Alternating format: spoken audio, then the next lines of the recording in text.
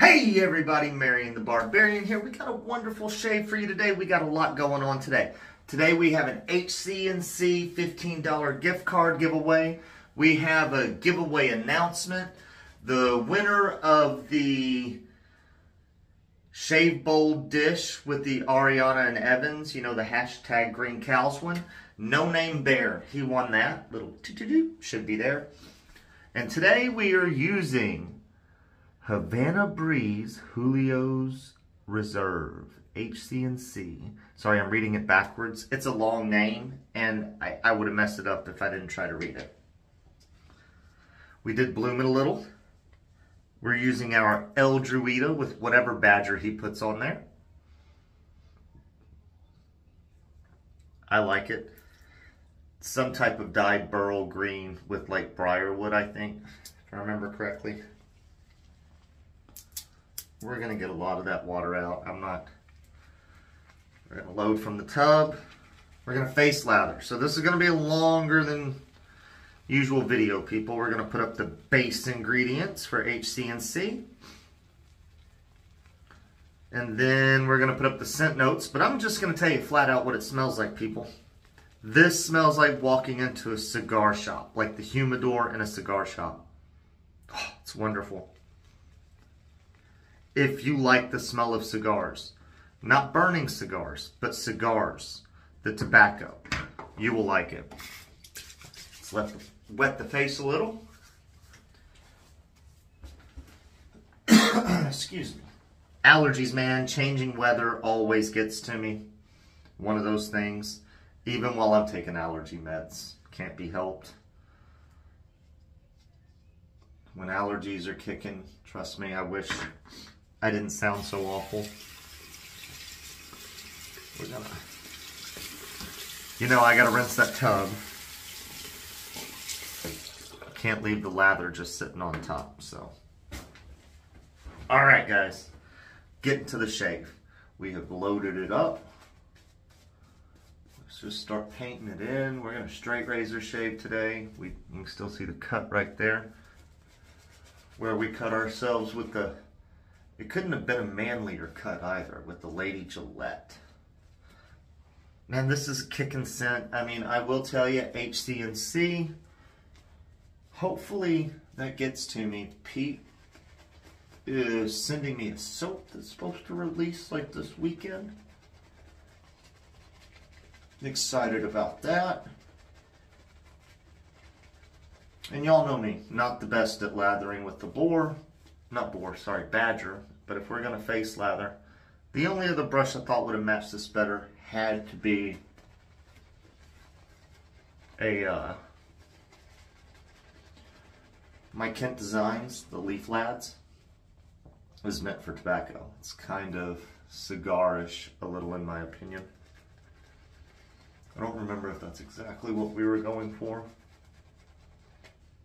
But that's that's the feel we got from it or at least I got from it. DK has one. I know he still uses it. I haven't seen him. I don't know if Carlitos has one. mm.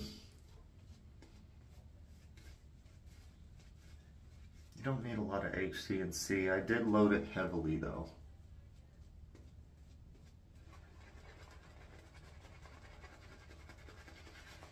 Hopefully, I will have kicked David Gonzalez's ass.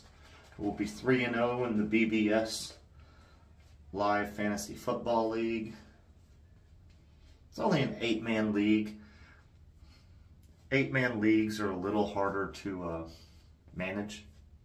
You're like, man, you should have all the good players you want, but the thing is, you have so many good players, it's hard to know which player to bench and which player to start. When you're in a 10 or 12 man league, you have starters. But like some of my starters didn't perform nearly as well as my bench. So, but we still won. I'm pretty sure of it. Gonna use the beautiful ALE. 8 eighths, full hollow, Spanish point, Canadian made from a Canadian rasp. Man, this is a kicking set. It's really nice. I'm thinking I'm gonna revisit the Ninja Turtles with the synthetic brush.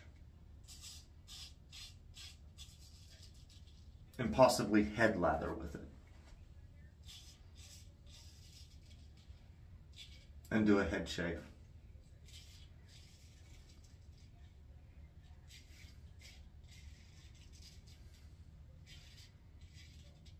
You know what show I was thinking about today I haven't seen in a while? No, that wasn't the show. That wasn't the show. I'd rather be shaving. That was the show.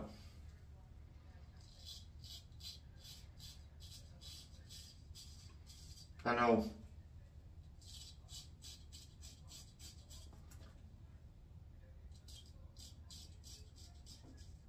Douglas and Matt Pisarcik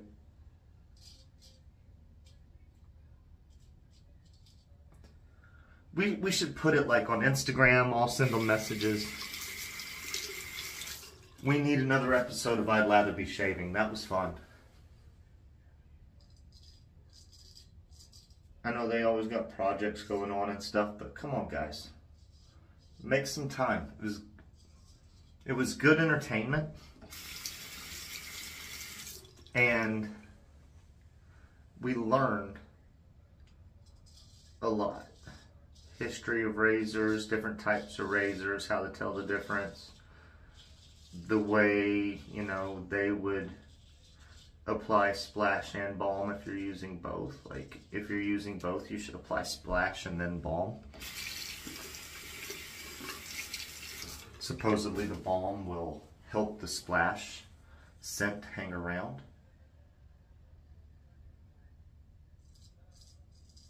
Oh yeah. Such a good scent, guys. I could have added so much more water because we're not blooping like we could.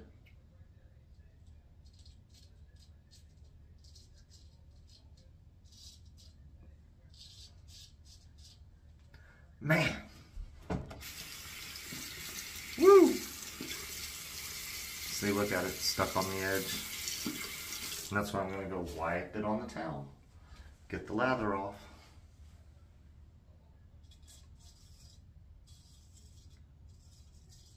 My non-dominant hand.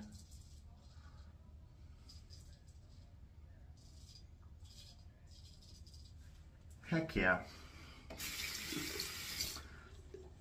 It, it's not the best edge. I stropped it 125 times. I did dip this in the water just now.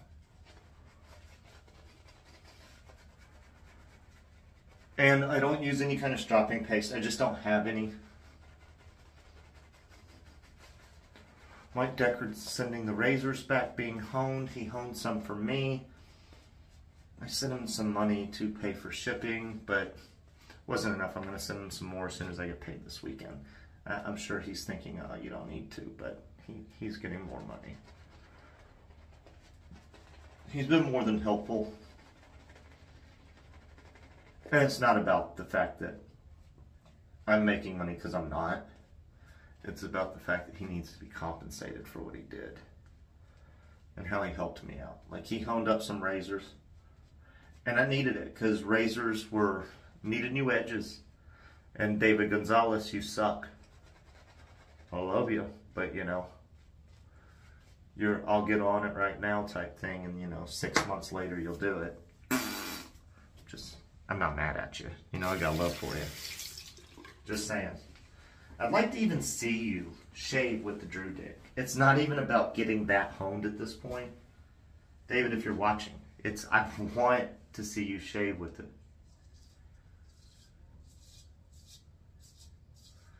It's not a common razor I see you shave with. First of all, it's not a common razor, but I don't see you shave with kamisoris or Western kamisoris or fixed blade straight razors however you want to classify that razor.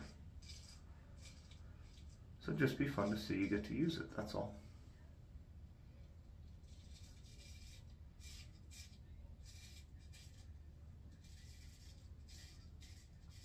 Not to mention I got a badass Boker that I sent him. I'd like to have honed up and fixed because I, I messed up the edge when I was trying to polish it up.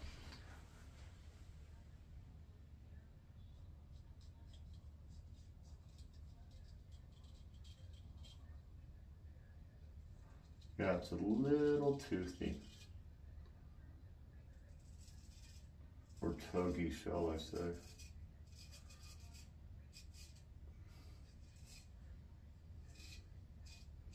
I will finish up Final Pass with a DE. We'll clean the neck up with it.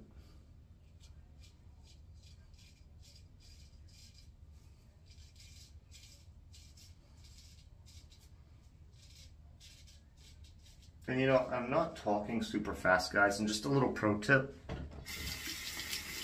When you're watching videos, if you want it to go a little faster, go up to the settings icon and put it on two times. You can watch the entire video, hear what's being said, and take like half the time. Or you can watch it at two times and watch to the point that you got all the information you want. Then there you go.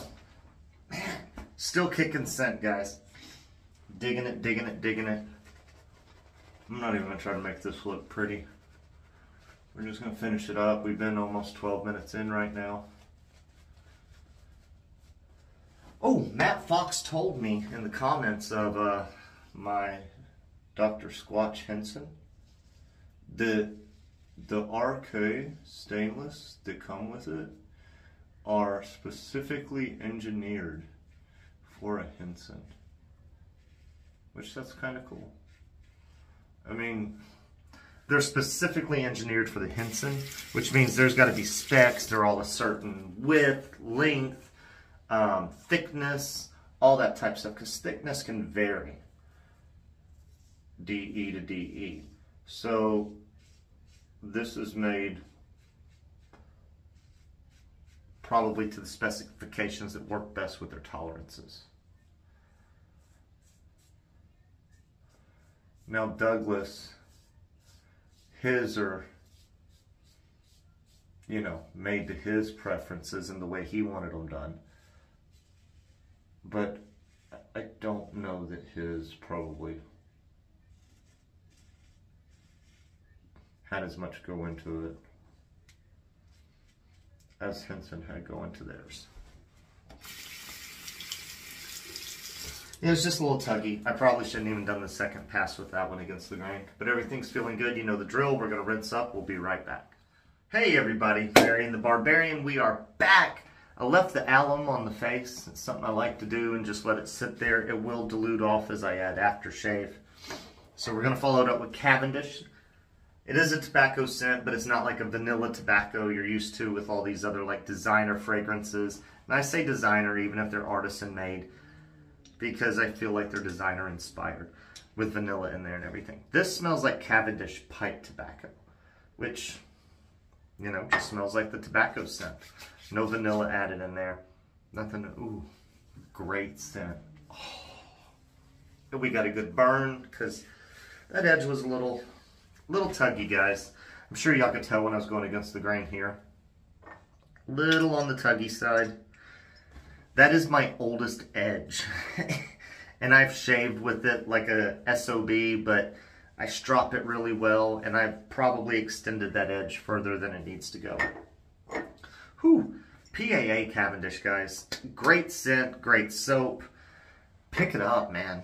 if you like tobaccos, just that tobacco, like rolled tobacco, pipe tobacco, pick it up. I recommend it.